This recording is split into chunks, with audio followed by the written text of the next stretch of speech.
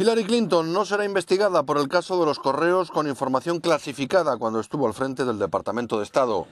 La fiscal general ha confirmado que no será procesada. Loretta Lynch sigue así las recomendaciones del FBI, que ha analizado 30.000 documentos que contenían 110 correos con información confidencial.